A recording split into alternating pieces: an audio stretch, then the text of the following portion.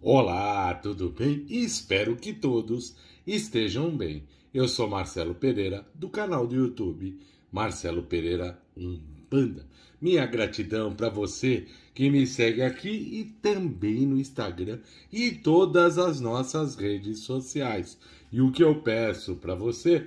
Eu peço que você deixe o seu curtir, deixe o seu joinha, porque depois você acaba esquecendo. Compartilhe este vídeo com outras pessoas para que tenham acesso a esse conteúdo, bem como se inscrevam no canal, cliquem no sininho para serem notificados quando postarmos novos vídeos. É novo, tá chegando aqui agora, meu irmão, minha irmã. Seja muito bem-vindo. Tem uma novidade para você. Eu tenho um curso completinho a respeito da nossa querida e amada Umbanda. É, Marcelo, esse curso é gratuito. Tá aí na plataforma. Como é que faz? Você clica lá no botão vídeos, se você tiver no YouTube, e você então volta até o vídeo 3, do 3 até o 40. Lá eu falo da origem da Umbanda, da diferença da Umbanda para o Candomblé, das entidades que se manifestam nos terreiros de Umbanda, é, dos orixás masculinos e femininos, tá tudo aí. Um e o dois são vídeos meramente introdutórios. A partir do 41, aí sim eu passo a esclarecer dúvidas que afligem não só os médios iniciantes, mas aqueles também mais experimentados que não encontram as respostas adequadas nos vídeos e no conteúdo disponível na internet. Então, do 3 ao 40, você já sabe esse curso completinho o, a partir do 41 em diante, nós esclarecemos dúvidas pontuais. Todo o conteúdo que eu disponibilizo aqui, eu também disponibilizo na forma de podcast no Spotify. Marcelo, como é que eu sei quais são as suas redes sociais? Tá aqui na descrição desse vídeo, bem como na bio do canal, você encontra o chamado Linktree. Você clica no Linktree, ele vai abrir uma outra página e nessa página então vai aparecer todos os links das nossas redes sociais. Fiquem à vontade para visitar todas elas. Então tem lá o Instagram, o TikTok, Kawaii, Twitter, Facebook, página do Facebook, grupo do Facebook, tá tudo aí disponível para vocês. Muito bem, o vídeo de hoje é sobre uma questão bastante prática. Marcelo, eu tô com uma vontade de fazer uma oferenda para Exu. O que, que você acha? Vou fazer um padê e vou despachar na encruzilhada. E calma aí, esse tema é bastante interessante. Vamos conversar um pouco melhor sobre essa questão. Muito bem, você quer oferendar Exu. Muito bem. E você vai fazer o quê? Você vai pegar o tradicional, não é? Vai pegar um alguidar de barro, vai fazer o padê, que eu já expliquei. Tem um vídeo aí no canal, volta aí, como é que faz padê de Exu e pombagira. Tá aí no canal eu explicando passo a passo como é que você faz. Aí você monta o padê bonitinho lá, que é a farinha de mandioca crua, né? Você vai misturar com azeite de dendê, vai montar o seu padê, isso para Exu, vai colocar sete moedas, os sete búzios abertos, vai colocar sete pimentas, vai colocar um charuto, vai colocar uísque. Isso você já sabe, muito bem. Aí você vai levar isso aonde? Na encruzilhada. Legal isso. É bacana levar um padê na encruzilhada. Você passa pela encruzilhada, você que é um bandista, diz a verdade para mim. Conta aí, não me esconda nada. Quando você passa na encruzilhada, você olha aquele padezão despachado ali, você se sente à vontade? Eu não me sinto. E eu acho que a maioria das pessoas também não se sente. Então, veja, por que, que eu não gosto?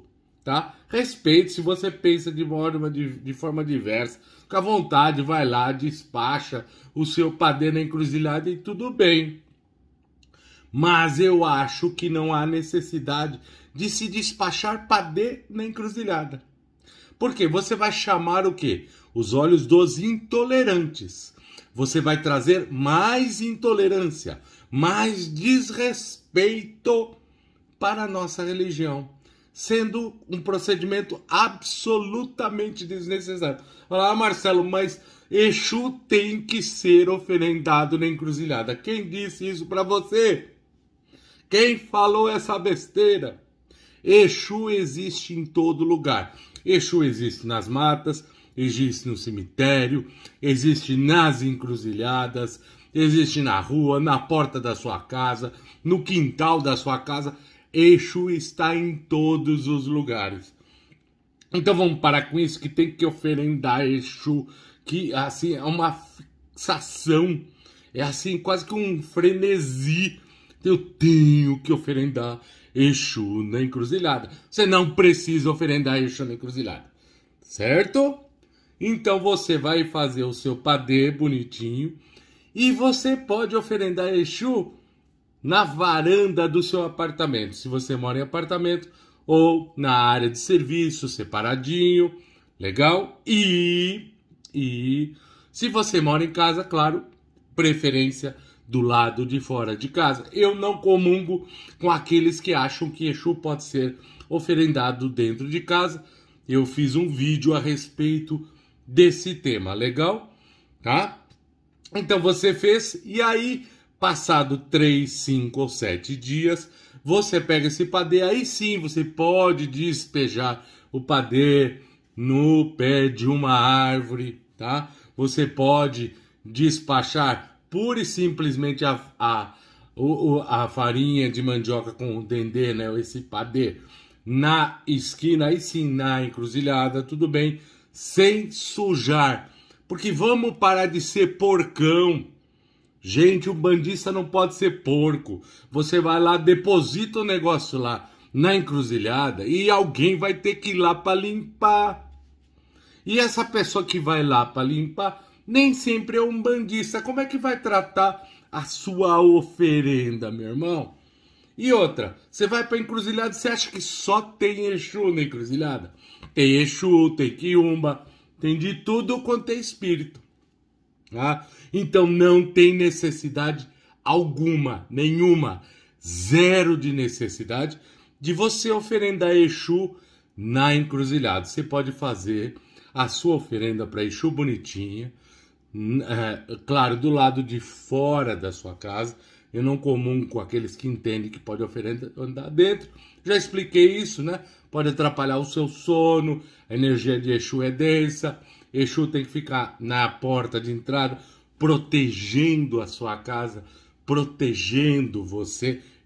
Ele é o guardião, tá certo? Então você faz a sua oferenda, seja no, se você morar em apartamento, na área de serviço ou na sua varanda, se você morar em casa, no quintal da sua casa. E aí você então pode despachar, né?